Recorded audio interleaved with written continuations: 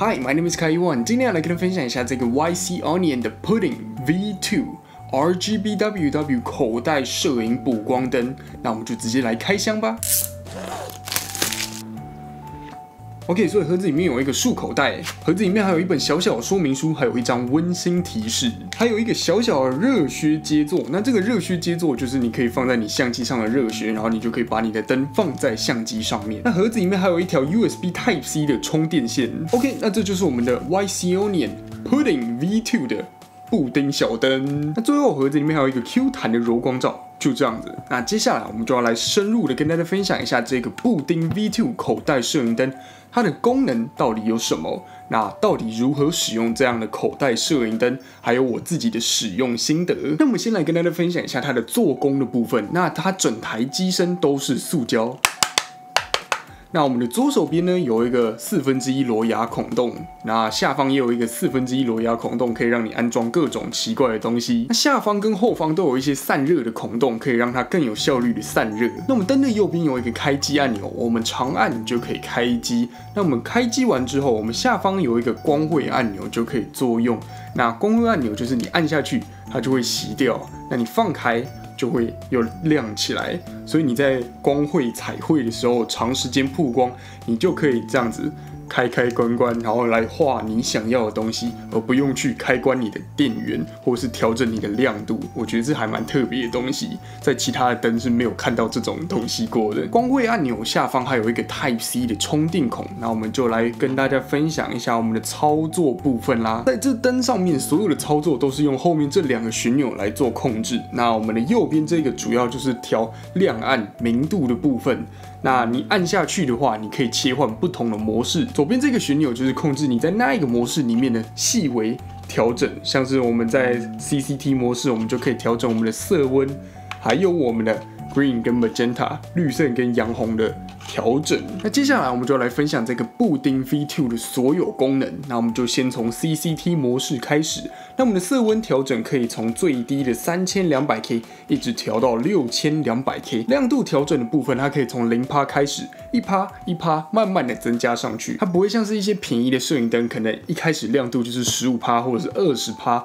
在拍摄近距离的时候，可能就会太亮。那这一盏灯就没有这个问题。这一盏是 RGBWW 的口袋摄影灯，所以它也可以来调整一下我们的 Green 跟 Magenta 的色偏调整。那它的绿色跟洋红调整是用正负十来标示的，就是给大家一个简单的方式来搭配现场的光源来做调整。那第一个就是来到我们的故障灯泡特效。那我们的故障灯泡特效呢，它会有各种不同的呈现方式。那现在是 A 的模式。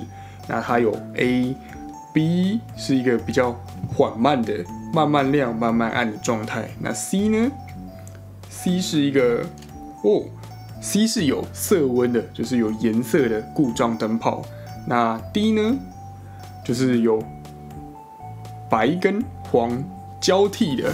故障灯泡，那各种不同的效果之外，我们还可以来调整速度的部分。像是我现在觉得，哎，这个九十趴好像闪的有点太快速了，那我可以来把它调慢，可能调到五十趴之类的，就比较自然一点，更像我想要的故障灯泡的速度。那下一个就是我们的色彩轮回特效，那一样有 A、B、C、D、E 各种不同的效果。那现在是 A。就是开心的各种变换颜色。那我们的 B 呢，就是红灯闪烁。那 C 呢，绿灯闪烁。那 D 呢，蓝灯闪烁，就是 RGB 各种颜色的闪烁。然后一，一在这儿，哦，就是用跳的。A 跟一的差别是一是用。快速跳的那 A 是一个滑顺的切换，就这样子。那我们一样也是按一下我们的功能设定按键，我们也可以来调整我们的切换速度。下一个特效就是警灯特效，那一样我们有 A B C D E F 各种不同的效果可以让你来选择。那现在是 A，就是闪闪红，蓝红蓝交替。那我们来看看 B，怎么会有绿呢？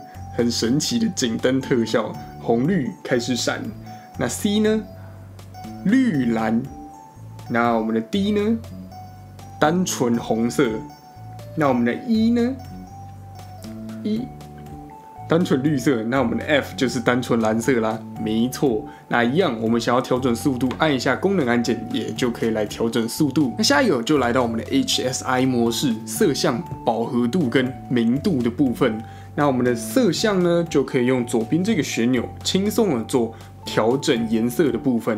那我们按下左边这个旋钮，我们就可以来调整我们颜色饱和度的部分。那么明度的部分就是用右边的旋钮来做调整。那在 HSI 模式里面，如果你把饱和度一直降低，降到零的话，它会呈现那个六千两百 K。白光的部分，那你在中间的饱和度的话，可能像是五十，它会用白光跟色彩的光一起做混合搭配。我使用这盏布丁灯已经差不多一个月了，那我们可以好好跟大家分享我的使用心得。那第一个就是我们在小小的空间，在室内空间真的是非常非常好用。如果你单纯想要有一个硬的补光，那你就可以直接做照射，这是没有问题的。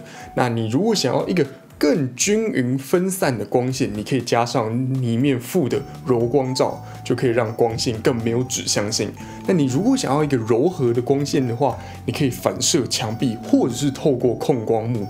这样子都可以轻松制造你想要的光源。那我自己最常使用这盏小灯的方式是来反射墙壁，像是那一个墙角有点黑暗，但是我想要那里有一个光过来的话，我就直接照射墙壁，我们就会有一盏光来勾勒人的线条。这真的是非常非常好用，因为这一盏小灯它的照射面积非常非常的广，所以你很轻松的就可以填满整面墙壁来制造一个柔和的光源。那这盏布丁灯是内建电池，那经过我的测试，它的最大出力可以平均使用八十几分钟，还算蛮 OK 的啦。那你当然也可以编插 USB 边使用，只是你插着 USB 充电边使用的话。它最大亮度会变弱一点点。另外一个我觉得很方便的就是你同时按下两个旋钮，你可以进入 Master and Slave 模式。那你只要是 YC Onion 的灯都可以使用这个功能，你就可以轻松同步你的特效啊，或者是颜色到另外一盏灯去。如果你有很多 YC Onion 的灯，你就一盏灯当 Master，其他的当 Slave，你就可以快速同步。这真的可以省下非常多时间，就不用冲来冲去，一直去调整。那接着我们来分享一下。它的光绘模式，我觉得这是这一盏灯还蛮特别的一个功能。如果你平常有在玩光绘的人，你就会发生几个问题，就是你画一画，你就要一直重新开关它的电源，或者是你就想办法把所有的图案全部连在一起，一气呵成。但是这一盏灯呢，就有一个光绘按钮，你就可以轻松断开一个字啊，你可能是在写 A，然后你要写 B 的时候，你就可以断开，然后再去写另外一个字，你就可以轻松画出你平常没有办法。画出来的效果，那你真的用了才知道。因为还没有拿到这盏灯之前，我以为哦，光绘模式就是可能就是开关嘛。那用了才知道，哇塞，这真的是超级好用！你可以这样子随心所欲的随时去关跟开，真的是超赞。接下来我要讲两个有点可惜的小缺点。第一个呢，就是它为了长得漂亮，所以它的四周都是圆弧的形状，所以你如果放在桌子上，它很容易就是摔倒，就是有一个美丽的造型，但是它的实用性稍微降低了一些些，有点可惜。第二个缺点就是它所有的特效全部都是颜色固定的，所以我不能说我想要这个特效，但是我想要有红色的颜色，这是没有办法办到的。就它所有的特效都是固定颜色，你只有可以调整速度跟亮度而已。颜色跟效果是没有办法深入的去调整的。那 YCU 你的灯，如果你想用手机蓝牙做操控的话，现在有两款 App 可以让你来做选择。第一款是比较直觉性的 App，就是你手机看到什么颜色，你按什么颜色，灯就会出现什么颜色，非常非常直觉。那第二款 App 呢是比较专业的，就是如果你有很多很多 YCU 你的灯光产品的话，你想要做群组或者是同时调整所有灯光。的效果啊，或者是亮度之类的，你就只能在专业的 App 做调整。那专业的 App 操作界面也不太一样，所以就是看你个人需要来挑选不同的 App 来做使用。那经过我的测试，我们手机蓝牙在空旷的地方连接我们的布丁小灯的话，我们可以距离五十公尺以内都可以来使用。那超过五十公尺就会开始断断续续，然后直到它断线为止。那五十公尺以内都是非常。稳定的。OK，在我们今天的 YCO 年布丁 V2 小灯的开箱跟分享影片，当然喜欢这影片按赞，订阅我频道可以看更多的相关影片。这里有一个全部都是摄影相关的 playlist，make sure you check it out。My name is Kaiwan, and I will see you guys next time. Bye bye.